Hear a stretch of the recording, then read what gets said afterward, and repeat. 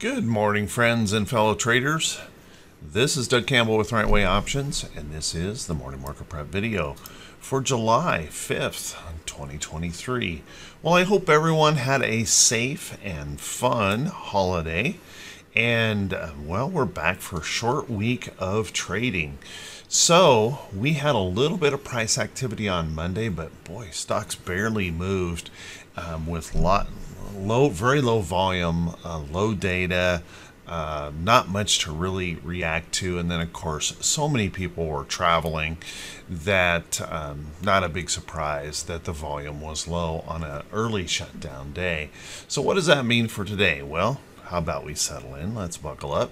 Let's get ready for the Wednesday edition of the Morning Market Prep video.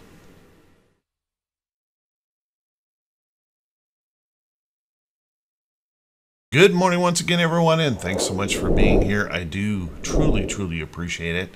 Let's take a look at these charts and see if we can figure out how we might want to approach the market for today.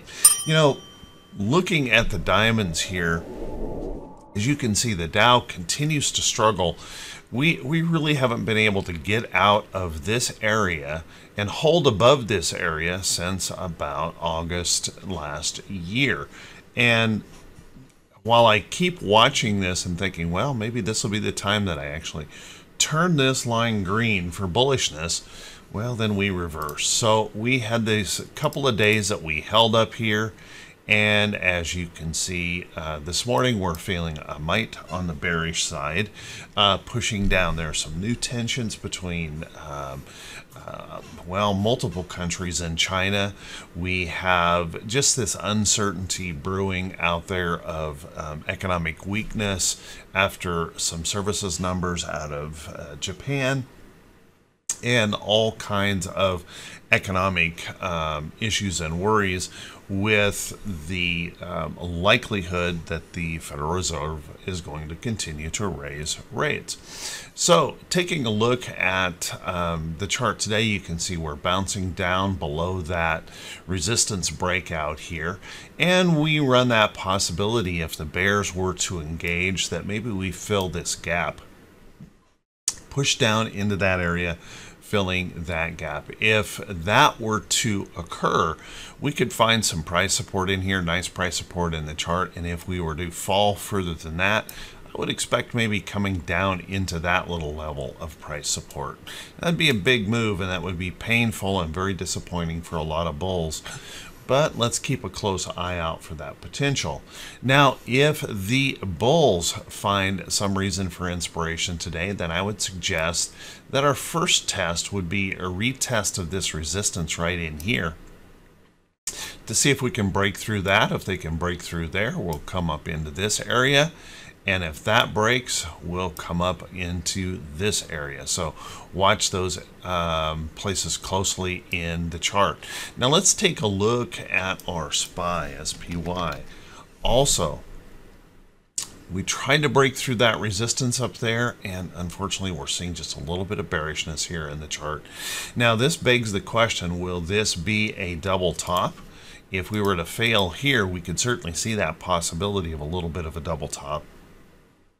And we might not be all that surprised to be thinking about, well, we've got earnings coming up here um, in another week um, of, of, wait.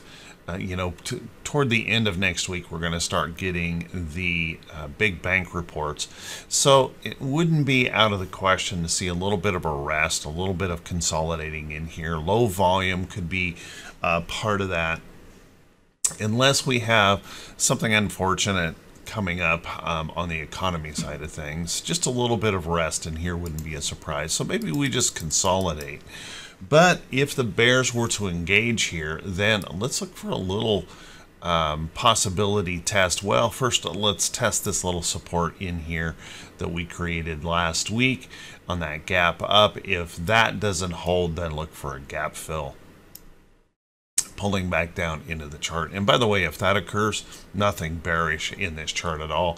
As a matter of fact, we could just set up a little bit of a range of chop in here as we wait for earnings season to begin. Let's take a look at our QQQ. Now, QQQ also showing us that possible double top coming in here. You can see we ran up into this pretty significant resistance level in the chart, and we're struggling with that area with a little bit of a pullback. So again, maybe a test right in this area first off for support drop down into here for the next level of price support if that holds great if it doesn't well maybe we come back down into here and again you can see that possibility that we may see a little bit of resting and consolidation um, here you'll want to be reminded that it's going to be a, a, good two weeks out before we really start big tech earnings. So keeping in mind that we could rest in this range here for some period of time. Then let's take a look at our uh, Russell IWM. IWM continuing to be well, a little toppy, possibly. We continue to run up here with all this exuberance, trying to test those resistance levels, to see whether we can break out. And here again, maybe that possibility of a failure could be coming in here. But the good news is we have a level of price support in right in there that could support us. So if we were to continue to see those bears push, I would look for a test back into this area and possibly even a hold because if that were to fail, then I'm going to suggest that we come right back down here in that chart as we continue to seesaw this market around here in the Russell. Now let's take a look at our VIX. You know, guys, our VIX has been so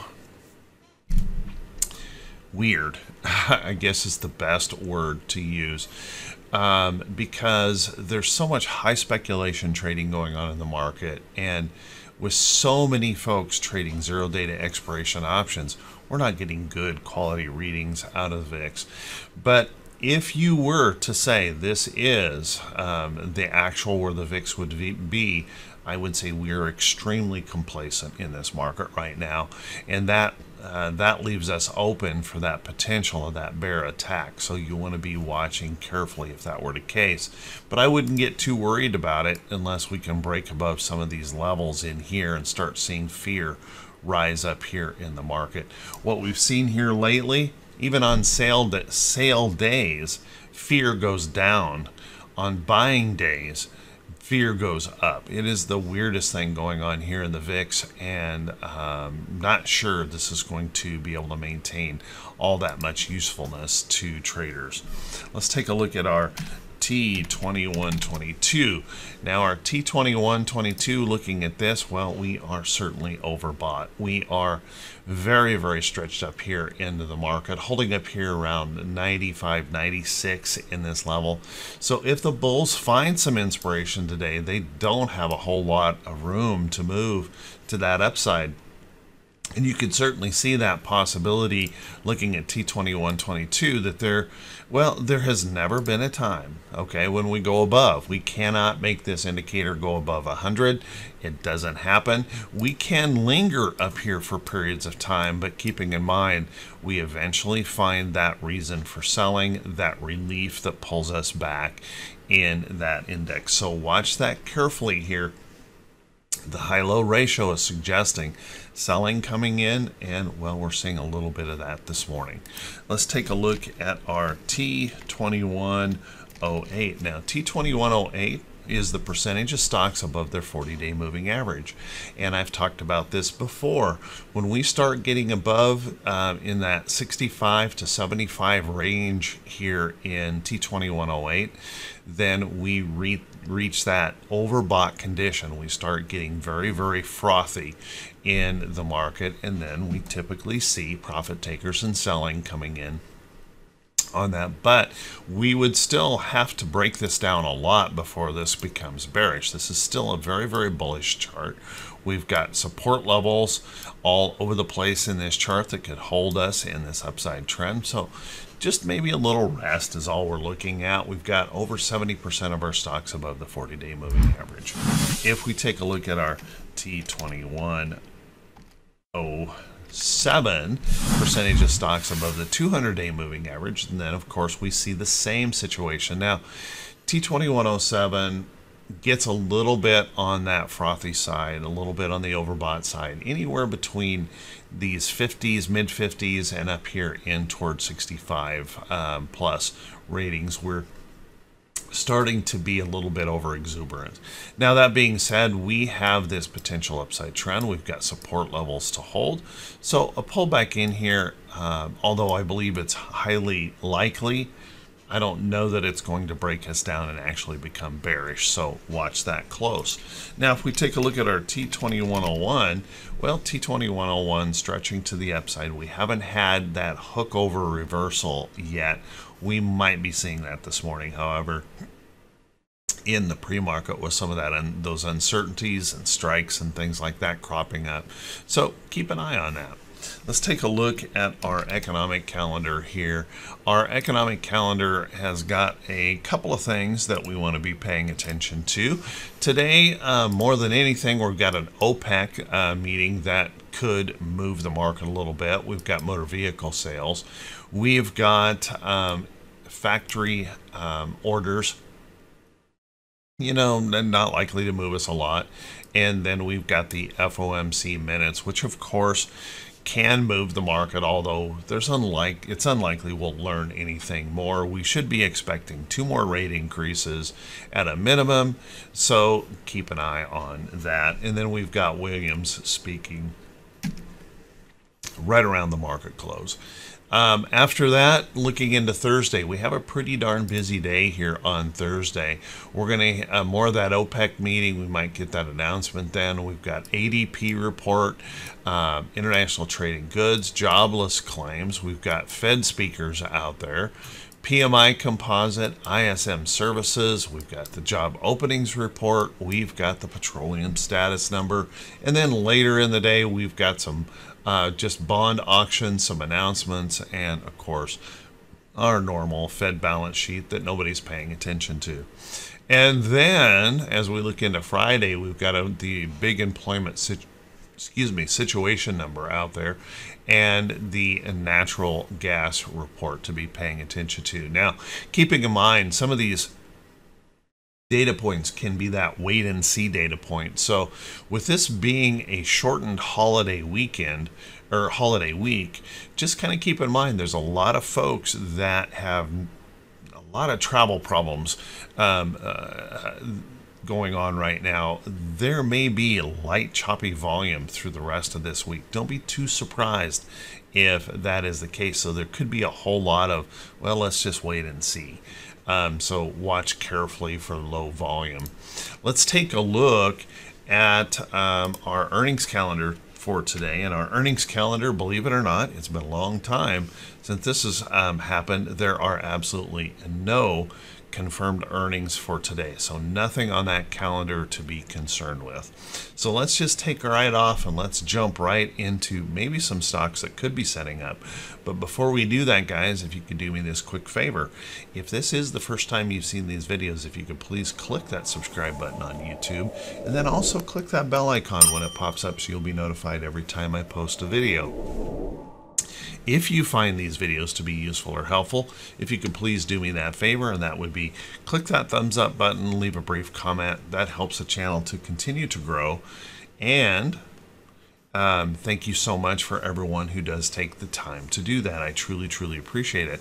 Also, I want to say thank you to everyone who supports the channel through the Buy Me a Coffee link just below the title of the video. You guys are awesome. I do thank you so, so much. Let's take a look at some of these stocks that could be setting up. And remember, guys, these are not recommendations to buy or sell any security. You should never, ever blindly follow anyone else's trade ideas or thoughts, make sure it fits your own personal criteria. Make sure it fits your trading rules and your risk tolerances for every single trade. So let's take a look at a couple of these. You know, um, one of the things um, I've been uh, talking about here recently is we're going to need these pay systems if if we're going to see a rally in the market, we need to see the consumers out there spending, and that means pay systems are making money. And as you can see, PayPal here has been struggling quite a lot, but at the moment we have a nice little pattern in here, a little short buy, uh, I would say short-term buy pattern. Um, nice little bullish trend going on. Nice little buy signal in there possibility up into the next resistance level of the chart looks possible. But what I'd really be wanting to watch for here overall is to see if PayPal has that opportunity to pop through that downtrend here and maybe start to hold some higher lows. If that were to occur, this would become very interesting, I think, in a chart. So let's watch that closely. Now, sticking on the pay system side of things, take a look at SQ out here, block. Now SQ also trying to come up out of this bottom. Still obviously. Still got a lot of work to do to break some of these downtrends, get some um, upside momentum going, but you can see we're starting to make those moves here to the upside. So I'm keeping an eye on this, watching that closely. That possibility that we could break on higher, retest some resistance looks like it would work maybe for a short-term upside move. But then again, um, I, I want to tell you guys that the place that I am really interested in these charts is when we break up above some of that downtrend resistance and we start seeing that institutional support coming in on these pay systems and that's where I really want to go in these positions. Now if we take a look at Visa Visa has been moving up nicely, and you can see some of that early move in here. Um, well, I say early move based on what PayPal and SQ is doing, but uh, Visa really making that move, breaking through a major level of price resistance in the chart. If it can rest and hold up here, then there's that opportunity that we could go ahead and attack these highs in uh, Visa, so watch that closely. So uh, enough on the pay systems there. Let's take a look at some other things that could be setting up. First off, I want to draw your attention to UUP. UUP is pushing up. Oops, sorry, that's a two-day. Pushing up a little bit here this morning. Watch that closely as that continues to push to that upside. Kind of a interesting situation going on here with um, Japan really disappointing in some numbers last night. Um, that may be strengthening the dollar, and then also some issues here um, with. Well, uh, bond um, yields continuing to rise quite sharply uh, uh, on Monday, uh, moving up. So we see that pressure here on the U.S. dollar. So watch that closely in here. If if we continue to see those bond yields strengthen, uh, then we're likely to see that dollar improve. And if the dollar continues to strengthen, well, then we have to start looking at some of these commodities out there. Take a look at gold. Um, gold has been moving in this downtrend, and I think if the dollar continues to strengthen, we could certainly see that continue to weaken here and start moving lower. Um, same thing would be the same uh, case for silver. Silver running um, a little bit of a double bottom situation in here on silver, but boy, lots of resistance above. I'd be watching for that potential of some more downside in silver. When it comes to other commodities, it is kind of interesting that we have rallied here, but you can see that dollar strengthening today is also having an effect here on copper. Um, now, I have a little bit of bias in this because I am holding this trade uh, currently watching that closely. If it were to hold this downtrend, as I said before, hold this downtrend break and and hang up, uh, continue to move up in this upside trend, hang in this area, maybe rest for a while, then I would be watching this for some upside but I'm a little bit concerned about an additional failure here right now, and I'll be watching this closely today. Take a look at some other stocks out there that are, uh, well, pretty interesting. Um, Costco has been moving up in this really strong upside move, and you can see we've already broken this downtrend here in the chart. We've held that higher low in here. We're moving in this upside trend any rest or pullback in here, I think, sets up a possible opportunity for that continuation to the upside. Of course, earnings can definitely change uh, a lot here. Take a look at CF. CF is one that I'm paying close attention to. CF is in the agricultural area here, and it's kind of interesting. Typically, we see ag slipping a little bit with a strengthening dollar, and we may see this weekend today. But I'm watching this closely. Again, there's that downtrend break, that higher low starting to set up here in the chart. Watch this carefully for that possibility that this might start working its way to the upside.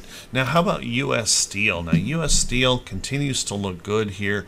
I am expecting this resting pullback. I'm actually hoping for a little bit of a resting pullback here in US Steel. Um, entry into this trade is that exact same pattern. You know, break the downtrends, hold higher lows, looking good. So I have a bias on this trade being in it. I have a nice profit in the position. I'm also covered with a short strike in the position up here. And I'm watching for this resting pullback in this chart to maybe set up that next opportunity to the upside. So keep a close eye on US Steel. Again, if the dollar strengthens a lot, that might become a problem here for steel. But if um, if we see that dollar hit some resistance levels and slow down that upside move, then don't be surprised if we see some of these commodities begin to surge to the upside.